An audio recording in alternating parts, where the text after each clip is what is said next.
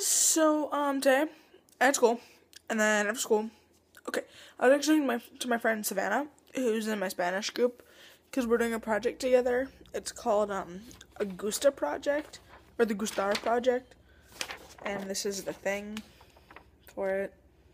Yeah. Um. So I'm actually like one, two, three, four, four, two thirds done with it four sixths, two thirds. I simplified. yeah, um anyway. So I've been working on that pretty much most of the night.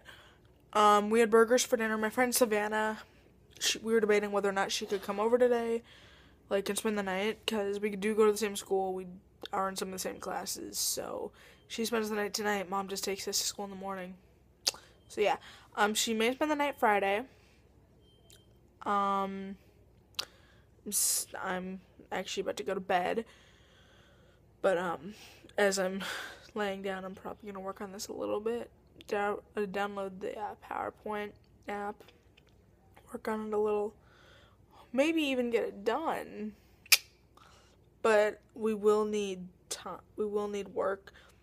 Um, cause I do. Cause what I did is I wrote a poem for it, but I need to definitely extend the poem because right now it's like six stanzas and like 50 seconds, and it needs to be at least two minutes. So I at least need to double it and add a little bit more for substance. And we need to speak slower.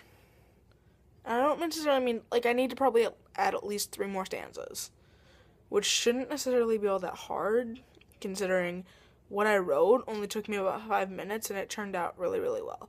Because when I get really in the mood, I can write pretty well. Um, so yeah. Anyway, um, I guess I will just talk to you guys later. See ya.